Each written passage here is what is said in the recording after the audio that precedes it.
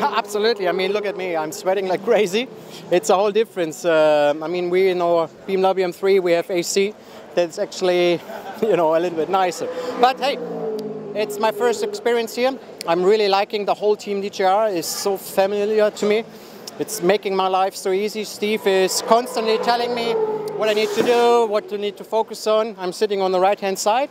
I think that's not a drama for me because I'm used to it. But shifting on the left, that's a big issue. And to remind me all the time, you know, with a, with a routine of braking and flipping. But so far, so good. I'm feeling more and more welcome. I'm one of the new internationals, so I've never done the car, I've never done the circuit.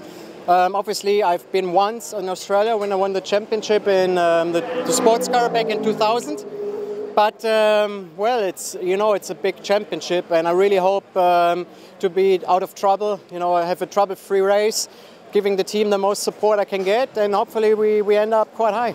Yeah, it's uh, it's come up really well to be honest. The boys have done an awesome job. I mean, they didn't work at all on the weekend. Didn't get the car back until about 10:30, 11 o'clock on Tuesday morning up to Bathurst. Um, only worked till 9 o'clock last night to get it here, so, you know, they've done an awesome job and um, a credit to them. We've gone out, there's been no problems with it. Dirk just had a little off, but it was just him trying to get used to the pedals and he, he, he hit the brake and the accelerator sort of similar times. So yeah, that's uh, as bad as it gets, I'll be very happy. Guys that do a similar thing to us, similar profession, but they do it in, in different categories over the world and really good to see photos, hear the differences between cars.